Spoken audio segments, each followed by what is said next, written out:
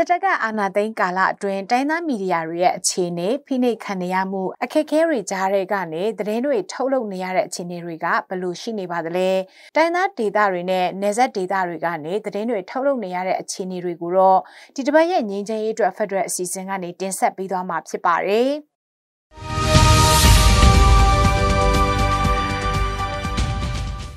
အခုဆိုရင်တဖြည်းဖြည်းနဲ့ဟိုပျောက်ကွယ်သွားတာမျိုးကြီးတွေ့ရတယ် ဟိုဒီကျမတို့ဒီချင်းပြည်နယ်ကဆိုအရင်တုန်းကအာ16ခွဲလောက်ရှိတယ်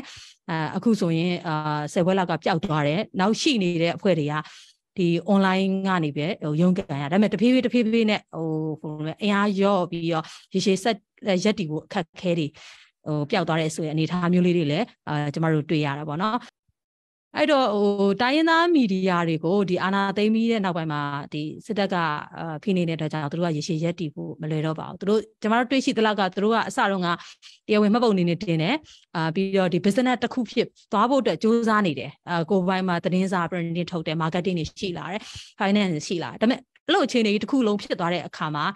အာဟိုအထောက်ပံ့တစ်ခုနဲ့ပဲရက်တည်ရတယ်အာရုံငန်းတွေစွန့်ခွာခဲ့ရတယ်သူတို့စုတောင်းထားတဲ့ငွေကြေးတွေဆုံးရှုံးမှုတွေအများကြီးဖြစ်တယ်ဟိုတနည်းတစ်ပုံဖြင့်ဟိုဖိနှိပ်မှုတွေဒီတက်ရောက်မှုရှိတယ်လို့ပြောလို့ရပါတယ်အဲ့လိုမျိုးတွေဖြစ်လာတယ်အဒီနေနေဆက်ဒီဒေသတွေမှာထွက်ပြေးပြီးတော့ဟိုတည်င်းတွေလောက်ရတယ်ပေါ့နော် အဲ့တော့ဟိုပြောရမယ်ဆိုတော့ mainstream media တွေနဲ့အဲ့လိုမျိုးငွေရေးကြေးရေးတွေရောထောက်ပံ့မှုတွေပါအများကြီးကွာဟာချက်ရှိတယ်။အတိုင်းရင်းသား media ကသတင်းတောက်တစ်ခုရတဲ့ဒီအထောက်ပံ့တဲ့ mainstream media ကအဲသတင်းတောက်ရတဲ့အထောက်ပံ့တွေဟာကွာခြားချက်တွေလည်းရှိတယ်။အဲနောက်ပြီးတော့ဟိုဟို ဒီဟိုမီဒီယာတစ်ခုလုံးရက်တည်ဖို့အတွက် funding တွေမှာလည်းလိုအပ်ချက်တွေရှိပါတာကိုကျွန်မအသေးစိတ်ရေးထားတာတယ်အမှကျွန်တော်တို့ကိုကျွန်တော်တို့ရဲ့ဒီတွေ့ရှိချက်အရပေါ့နော်ကျွန်တော်တို့ဒီတိုင်းသားမီဒီယာတွေကဟိုတဖြည်းဖြည်းနဲ့ဟိုအားနဲလာပြီးတော့ရက်တည်ဖို့ပျောက်ကွယ်သွားမယ်ဆိုရင်ရက်တည်ဖို့ပျောက်ကွယ်သွားမယ်ဆိုရင်အာဟိုအနေထားရှိနိုင်တယ်လို့တွေ့ရတဲ့ကြောင့်ကျွန်တော်တို့ဒီအာဒီပြည်သူလူထုရောဟိုအဖွဲ့အစည်းတွေရော NGO တွေရောနောက်က NUG အစိုးရကတော့ အာဂယုဆိုင်ပေါ့နော်ဟိုအထောက်ပံ့နေပေးပြီးတော့ဟိုမပြောက်ကွယ်သွားဝိုင်းဝန်းထိမ့်သိမ့်မှုလိုအပ်နေရဲဆိုတာလေးကိုဟိုကျွန်မတွေ့ရှိခဲ့ရပါတယ် BNI ရဲ့ငြိမ်းချမ်းရေးလေးလာစောင့်ကြည့်ရေးအဖွဲ့တာဝန်ခံကလက်ရှိတိုင်းရင်းမီဒီယာတွေရဲ့အခြေအနေတွေကိုအကျဉ်းချုပ်သုံးသပ်တင်ပြသွားတာပါဒီဇင်ဘာလ30ရက်နေ့ကထိုင်းနိုင်ငံရဲ့နေဆက်တနေရာမှာပြုလုပ်တဲ့တိုင်းသားမီဒီယာများကိုလေးလာခြင်းနဲ့စစ်အာဏာရှင်စနစ်အတွန်းရှည်ရေးအတွက်အတုံးချခံငြိမ်းချမ်းရေးစာရန်မိတ်ဆက်ပွဲအခမ်းအနားမှာပြောဆိုလိုက်တာဖြစ်ပါတယ်ရှမ်းတန်တော်စင်သတင်းဌာနရဲ့အက်ဒီတာချုပ်လည်းဖြစ် BNI ဘဏ္ဍာရေးကော်မတီရဲ့ဥက္ကဋ္ဌလည်းဖြစ်သူစိုင်းမိန်ကလက်ရှိတိုင်းရင်းမီဒီယာတွေကြုံနေရတဲ့အခက်အခဲတွေနဲ့ပတ်သက်ပြီးတော့အခုလိုမျိုးဆက်ပြောပါရယ်ဒီလက်ရှိအာနာသိန်းကာလမှာကျွန်တော်တို့ဒီတိုင်းရင်းသားမီဒီယာမှာအဓိကအာကြုံရတဲ့ဒီခုနကတော့အိုက်ဆူမီတဲ့ဟာအရေးကြီးဆုံးအခက်ခဲပေါ့နော်အဲအဲ့ဒါကတည့်ချက်ဒီသတင်းသမားတွေရဲ့အဲကျင့်ဝတ်နဲ့အညီအာ source ပေါ်ပြတဲ့အခက်ခဲ အဲ့ဒါတစ်ခုပါတယ်နေ့အချက်ကြတော့ဒီ queen ဆင်းပြီးတော့မှဒီအဲကင်မရာတွေအာနောက်ပြီးတော့မှလက်ကင်ဖုန်းတွေအာစစ်စေးရေးကိတ်တွေတအားများတော့အဲ့ဒါကအာကွင်းပြင်မှာဆင်းပြီးတော့မှတရင်ရယူဖို့အရန်ခက်ခဲတဲ့အခက်ခဲ အာနောက်တတိယအခက်ခဲကလည်းဒီလူထုကြားလူလူလတ်လတ်သွားလာပြီးတော့မှတည်င်းဖော်ထုတ်လို့မရတဲ့အာစတဲ့အခက်ခဲတွေအပြင်နောက်ပြီးတော့မှ ethnic media ဆိုတဲ့ဒီတိုင်းရင်းသား media ဆိုတဲ့ဟာကအမှန်တော့လေဒီအာ mainstream media လို့ပြောလို့ရှိရင်ရန်ကုန်မန္တလေးဒီတတိုင်းပြည်လုံးကိုခြုံငုံပြီးတော့မှရေးနေတဲ့သတင်း media ကို mainstream media လို့ပြောကြတယ်ဒါပေမဲ့အမှန်တော့ဒီတိထားဖို့ကကျွန်တော်တို့ ဥမာကရင်ပြည်နယ်မှာဆိုရင် KIC ကအာ mainstream media ပဲထို့အတူပဲမိမိဒေတာမှာရှိနေတဲ့အဲမီဒီယာတွေကလည်းအာမိမိဒေတာအတွက် mainstream media ပဲအဲ့ဒါကခက်ခဲတာကတည့်ချက်ဒီအလူရှင်တွေကထောက်ပံ့ပေးနေတဲ့ဘာနာရေးပိုင်းဆိုင်ရာထောက်ပံ့ပေးနေတဲ့အလူရှင်တွေကလည်းအဲအဲ့ဒီအပေါ်အာတေးတေးကွဲကွဲ အဲတိတ်မမြင်မိဘူးလို့မြင်မိတယ်။ဘာဆိုတော့ဒီ mainstream media ကိုထောက်ပံ့နေတဲ့ဟာနဲ့တိုင်းရင်းသားတွေတတွေမှာထောက်ပံ့နေတဲ့ငွေရေးကြေးရတအားကွာဟတယ်။လှစာအစကွာဟတယ်။ဒါပေမဲ့အလုပ်ရလုပ်ရချင်းတော့အတူတူပဲ။အဲအဲ့လိုမျိုးလေးတွေပေါ့နော်ဒီအခက်ခဲလေးတွေကို အာဒီအာနာသိန်းကာလမှာအာရောင်ယုံပြောင်းရတဲ့အခက်ခဲအာလွတ်လပ်စွာသွားလာလို့မရတဲ့အခက်ခဲစတာတွေအားလုံးပါဝင်ပါတယ်ခင်ဗျပေါ့နော်ဒီ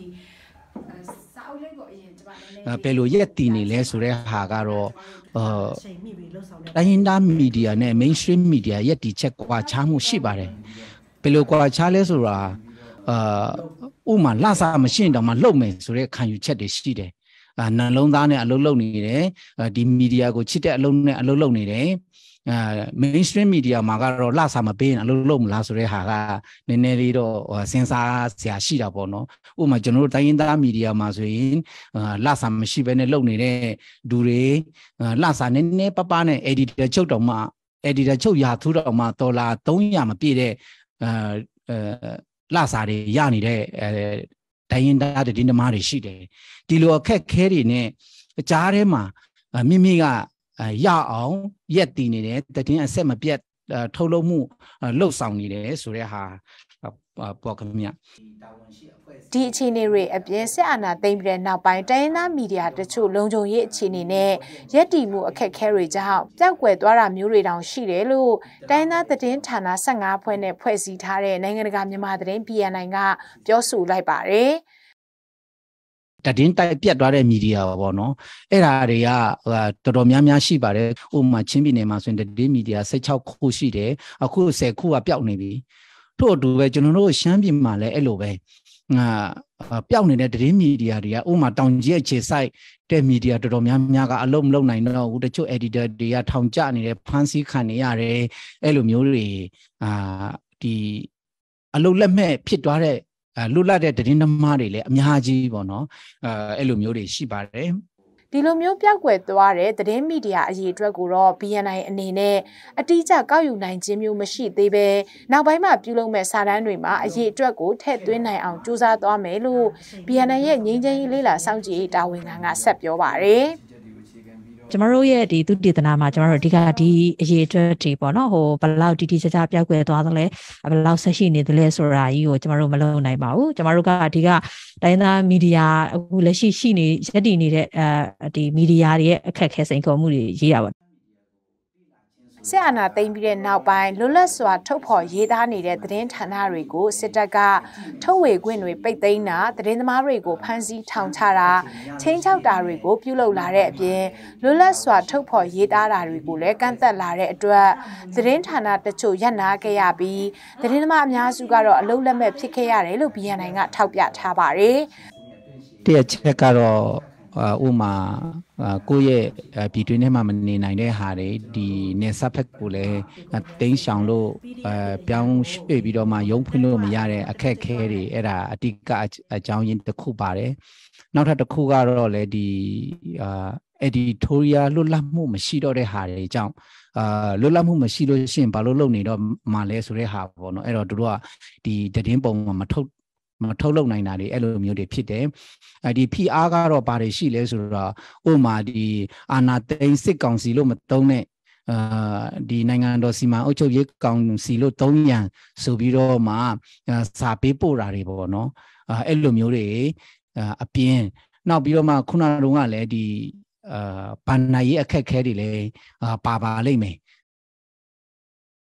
သတင်းအလုပ်ကိုဆက်လုပ်နေကြတဲ့သတင်းဌာနတွေနဲ့သတင်းသမားတွေကလည်းအရင်ကလိုသတင်းအလုပ်ကိုလွတ်လွတ်လပ်လပ်လုပ်လို့မရကြတော့ပဲစစ်တပ်ရဲ့စောင့်ကြည့်နေမှုတွေကိုအမြဲခံနေရတဲ့အတွက်အနေရကြားကနေပုံရင်းရှောင်ရင်းသတင်းအလုပ်ကိုလှုပ်ဆောင်နေကြရတယ်လို့ BNN ကပြောပါတယ် တိုင်းရင်းသားမီဒီယာတွေရှိနေရတဲ့နေရာတွေကအမ်တမနယ်မြေချင်းတယ်ပြီးတော့မှဘယ်မီဒီယာမှာဘယ်သူတွေကရှိနေတယ်ဘယ်သူတွေကဘာလုပ်နေတယ်လဲဆိုတာကိုဟိုဒီအာနာပိုင်တွေအားလုံးကသိတယ်ပေါ့နော်ဆိုတော့ဒီလိုအနေထားမျိုးမှာအလုံးလုံးရနေတဲ့လုံးလုံးနေရတဲ့အနေထားကဒါကလည်းပဲရေရှည်ရက်တည်နိုင်ဖို့အတွက်အခက်အခဲတွေရှိနိုင်တယ်အများကြီးစိန်ခေါ်မှုတွေရှိနိုင်တယ်ဘာလို့ဆိုတော့အဲလူတွေအဲလူတွေကဘလောက်ပဲစိတ်ဆန္ဒရှိရှိတစ်ဖက်ကအချိန်မျိုးအဖမ်းခံရတဲ့မိသားစုတွေဘဝတွေဖြည့်ဆည်းခံရတဲ့အနေအထားတွေကအများအားချင်းချောက်မှုတွေရှိနေမှာပဲဒါကလည်းတစ်ဖက်ကကြည့်မယ်ဆိုလို့ရှိရင်ကျမတို့ဒီမီဒီယာတွေအတွက်တဖြည်းဖြည်းတဖြည်းဖြည်းနဲ့ရက်လိုက်ရတဲ့ဟာမျိုးသို့မဟုတ်လူများရက်လူများတွေရန်နေသွားပြီးတော့မှလုပ်ငန်းဆက်မလဲပတ်နိုင်တဲ့အနေအထားမျိုးတွေလည်းဖြစ်နိုင်တယ်ဒါတစ်ချက်ပေါ့နော်နောက်တစ်ခုကကြတော့ကျမတို့ဒီအာနာမသိခင်မှာဆိုရင်မီဒီယာတွေတော်တော်များများဒီကျမတို့တိုင်းသားမီဒီယာတချို့အပါဝင်ကကို့အဖွဲ့အတွက်ဝင်ငွေရရှိနိုင်တဲ့အခွင့်အလမ်းလေးတွေကိုဖန်တီးနိုင်ခဲ့တယ်။နော်ဆိုတော့စာဆောင်တွေထုတ်တယ် newspaper တွေထုတ်တယ်ဝင်ငွေရတယ်တချို့ကြော်ညာတွေကနေရတယ်ဆိုတဲ့ခါကျတော့ဒီအလူရှင်တွေရဲ့ထောက်ပံ့မှုကိုပဲလုံးလုံးရက်တရတဲ့အနေထားကနေတဖြည်းဖြည်းတဖြည်းဖြည်းနဲ့ကြော်နိုင်အောင်စူးစမ်းလာခဲ့စူးစမ်းလာခဲ့လို့ရတဲ့အနေထားတွေရှိခဲ့တယ်ဆိုတော့အလူရှင်တွေကပတ်စံရက်လိုက်ရင်လည်းဒါဒီမီဒီယာတွေဆက်လက်ပြီးတော့မှဟိုလက်ပတ်သွားနိုင်တဲ့အနေထားရှိလာနိုင်တယ်ပေါ့နော်ဒါပေမဲ့ အာနာသိမ့်ပြီးနောက်ပိုင်းမှာဒီအခင်းချင်းတွေကလုံးဝပြတ်သွားတယ် marketing system တခုလုံးလုံးဝပြတ်သွားတယ်မီဒီယာတွေအတွက်စစ်တပ်ကအာဏာသိမ်းပြီးတဲ့နောက်ပိုင်းသတင်းဌာနတွေပြက်ကွယ်သွားတာနဲ့သတင်းသမားတွေကသတင်းအလုပ်ကိုရပ်နားလိုက်ရတဲ့အကြောင်းရင်းတွေထဲမှာတော့ဗန္နာရေးအခက်ခဲလဲပါဝင်တယ်လို့ BNI ရဲ့ Managing Director ကဆက်ပြောပါတယ် တကယ်၍ဒိုနာတွေကမထောက်ပံ့တော့ဘူးသို့မဟုတ်ထောက်ပံ့မဲ့အနေထားအကန့်အသတ်ဖြစ်တယ်ဆိုရင်အာအထူးသဖြင့်ပေါ့နော်ငကိုတွေကအားအင်အားနည်းနေတဲ့ငကိုတွေကလည်းပဲအရန်ကိုရုန်းကန်လှုပ်ရှားနေရတဲ့ဒီတိုင်းသားမီဒီယာတွေအတွက်ကတော့အချိန်မရွေးလုံးဝပျောက်ကွယ်သွားနိုင်တယ်ဆိုတဲ့အနေအထားတစ်ခုကိုကျမတို့မြင်နေရတယ်ပေါ့နော်မသေးချာမရေရတဲ့အနာဂတ်တစ်ခုကိုအာကြည့်ပြီးတော့မှကျမတို့တိုင်းသားမီဒီယာတွေဒေသခံမီဒီယာတွေကဒီလုပ်ငန်းလက်ပတ်မှုတွေကိုခုနက သူတို့ကိုယ်တိုင်ရဲ့ဒီ commitment တွေနဲ့ဆက်လုပ်နေရတဲ့အနေအထားဖြစ်ပါတယ်ဒါလေးတို့ကျမတို့ကခြုံပြီးကြည့်လိုက်ပြီးတော့မှအာဒါကတော့ချိန်မီပေါ့နော်ကျမတို့ဒီမီဒီယာတွေအထူးသဖြင့်သေးငယ်တဲ့မီဒီယာတွေတိုင်းရင်းမီဒီယာတွေကပြောက်ကွယ်သွားနိုင်တဲ့အလားအလာရှိနိုင်တယ် ဒါကြောင့်တိုင်းသားမီဒီယာသတင်းဌာနတွေထပ်မံပြီးတော့မပြောက်ကွယ်သွားရအောင်နဲ့သက်ဆိုင်ရာလူမျိုးစုအလိုက်ဒေသအတွင်းကရိုးရာဓလေ့တွေစီးပွားရေးလူမှုရေးလူခွင့်ရေးချိုးဖောက်ခံရမှုတွေကိုဆက်လက်ဖော်ထုတ်ရေးသားနိုင်ဖို့အတွက်သတင်းမီဒီယာတွေကိုထောက်ပံ့ပေးနေတဲ့နိုင်ငံတကာအလူရှင်တွေအနေနဲ့အခုထပ်ပို့ပြီးတော့ဆက်လက်ကူညီထောက်ပံ့ပေးဖို့ကိုလည်း BNI ကတောင်းဆိုထားပါတယ်။တိုင်းသားမီဒီယာတွေကပင်မမီဒီယာတွေထက်ငွေရေးကြီးရေးနဲ့လူအင်အားပိုနေတဲ့အတွက်ပျောက်ကွယ်သွားနိုင်တဲ့အလားအလာကပင်မမီဒီယာတွေထက်ပိုပြီးတော့များနေတယ်လို့ BNI ကထောက်ပြထားပါတယ်။တိုင်းသားမီဒီယာတွေသာပျောက်ကွယ်သွားမယ်ဆိုရင်တိုင်းသားတွေကြုံတွေ့နေရတဲ့လူခွင့်ရေးချိုးဖောက်ခံရမှုတွေဖိနှိပ်ခံရမှုတွေဘာသာစကားနဲ့ရိုးရယဉ်ကျေးမှုတွေလည်းတဖြည်းဖြည်းပျောက်ကွယ်သွားနိုင်ပါတယ်။မြန်မာနိုင်ငံအနေနဲ့ Federal Democracy နိုင်ငံကိုထူထောင်မယ်ဆိုရင်လည်းမီဒီယာရဲ့လွတ်လပ်ခွင့်ကအရေးကြီးသလိုတိုင်းသားပြည်နယ်တွေမှာဖြစ်ပေါ်နေတဲ့လက်တလောအဖြစ်အပျက်တွေကိုလူတိုင်းသိရှိနိုင်ခွင့်လူမျိုးတစ်မျိုးနဲ့တစ်မျိုးကြားမှာနားလည်မှုအတူတူကရှင်တွဲနေထိုင်ရေးတို့အတွက်အထောက်အကူပြုဖို့တရင်အချက်လက်တွေကိုဖလှယ်ဖို့ကတိုင်းသားမီဒီယာတွေရဲ့အခန်းကဏ္ဍကအရေးကြီးတယ်လို့ဆိုရမှာဖြစ်ပါတယ်။ဒါကြောင့်ຫນွေဦးတော်လှန်ရေးနဲ့အတူပေါ်လာတဲ့အမျိုးသားညီညွတ်ရေးအစိုးရ NUG အနေနဲ့ရောနိုင်ငံတကာအဖွဲ့အစည်းတွေမီဒီယာကဏ္ဍဖွံ့ဖြိုးတိုးတက်ရေးအတွက်ကူညီပေးနေတဲ့အဖွဲ့အစည်းတွေအားလုံးကပင်မမီဒီယာတွေကိုထောက်ပံ့ကူညီပေးနေတယ်လို့တိုင်းသားမီဒီယာအဖွဲ့တွေကိုလည်းကူညီပေးကြဖို့လိုအပ်ပါတယ်ရှင်။